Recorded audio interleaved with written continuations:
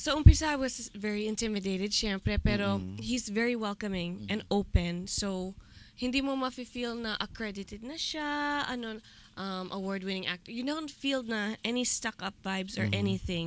Mabait lang siyang tao. He gets to know you on a very humble level. And mm-hmm. that's why I'm very grateful na, na nakuha ko siya bilang isang leading man.